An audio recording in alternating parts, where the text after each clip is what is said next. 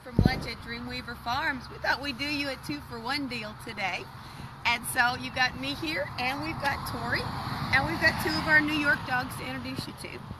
This is Amanda, and this is Amanda's debut both at Live at Lunch and also at the farm. Amanda just got here. Um, was it Tuesday afternoon you went and got her? Wednesday Yesterday. afternoon. Yesterday. Amanda just got here yesterday.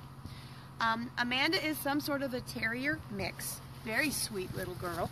Um, she's about, I think they said two years old. and Amanda was turned into a rural Georgia shelter because she chased the rabbits with all the beagles.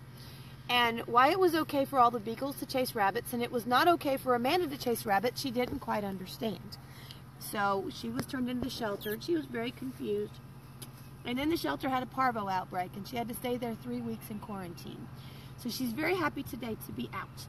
We have 10 days to teach Amanda a very important skill, which is how to walk on a leash. Other than that, I think she's got everything she needs to get in New York where there won't be any rabbits for her to chase.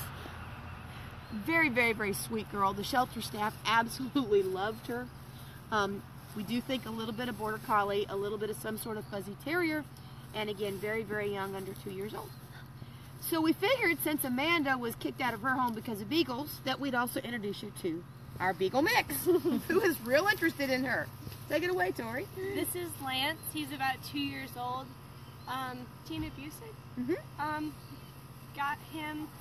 He's just really sweet, loving. He just He loves Amanda. yeah, he loves Amanda. He's in love right now. Um, but he absolutely loves everybody that I've seen. He loves rawhides and chewies, and he's just really, really fun to be around. He never, he's never sad that I've seen. He's just always playing, or goofy, or smiling, or getting belly rubs. And See, he was a I'm- stray, right? Yeah, he was a stray. I'm good in my crate and I'm quiet because he lives with me in my office. Hi, He Lance. came out with a little bit of kennel cough when we first got him. Oh, hi, Lance. Okay. Making his debut. He's a He very wants to be right in the middle alive live at lunch. That's right. So these are two more of our dogs going to New York City, unless adopted between now and the 27th. Uh, we will close our list out uh, after next weekend's adoptions. They are still available for adoption here in South Carolina. We are writing descriptions as fast as we can, but you're seeing some of the dogs now that we haven't finished the descriptions yet. Again, and Amanda just got here yesterday. Isn't she beautiful? We just don't quite know about this leash thing yet. Live at lunch from Dreamweaver Farms.